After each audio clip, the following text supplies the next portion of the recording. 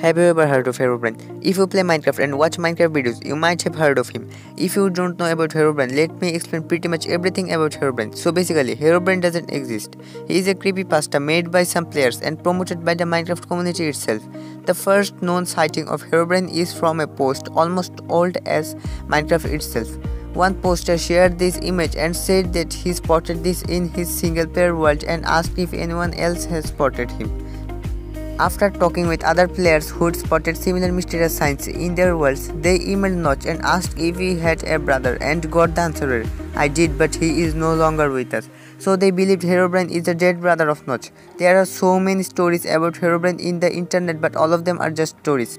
Now let me introduce you to Herobrine. Herobrine looks like normal Steve but you can identify him with his white eyes. When Herobrine is in your world, you will notice 2x2 tunnels in your world, sand pyramids in oceans and you will see trees without any leaves. He can also appear in the form of a cow or sheep with white eyes but all of them are just myths because Herobrine is not in Minecraft and never has been. There are no references to him at all in the source code and there is no code to allow for an entity to act like Herobrine. It is impossible for Herobrine to exist. Even Notch himself confirmed that Herobrine was never added, so we have come to a conclusion that Herobrine was never added to the game. So now what? Now is the time for subscribing. So without wasting any time, subscribe. You might say, what about your voice? Let me clear that I have no mic. I am recording it with my phone and I have endless limitations. So small help will be considered. Also give me some feedbacks about how should I improve my voice.